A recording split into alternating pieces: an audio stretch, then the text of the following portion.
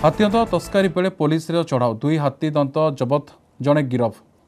ହାତୀଦନ୍ତକୁ ନେଇ ସମ୍ବଲପୁର ଦେବଗଡ଼ରେ ଆସୁଥିବା ବେଳେ ପ୍ରଭାସଣୀ ନିକଟରେ ଦେବଗଡ଼ ଜିଲ୍ଲା ସ୍ପେଶାଲ ପୋଲିସ ଟିମ୍ ଚଢ଼ାଉ କରି ଜଣେ ଅଭିଯୁକ୍ତକୁ ଗିରଫ କରିଛି ଗିରଫ ଅଭିଯୁକ୍ତ ଜଣକ ସମ୍ବଲପୁର ଜିଲ୍ଲା ଶାସନ ଥାନା ରାଣୀଖଣ୍ଡି ଗ୍ରାମର ସୁନିଲପଡ଼ জবত হাতিয়ান্ত দুইটি ওজন পাখাপাখি দুই কেজি তিনশো বতিশ গ্রাম হব বলে জଣାপড়ি পনেরো লক্ষ টঙ্কার হাতিয়ান্ত বিক্রি পাই উদ্যম করুতা বেড়ে সেটার চড়াও করেছিল এই পছরে এক বড় রেকেট কাম করুতা পুলিশ সন্দেহ মধ্যে করুছি এনে তদন্ত আরম্ভ করেছে পুলিশ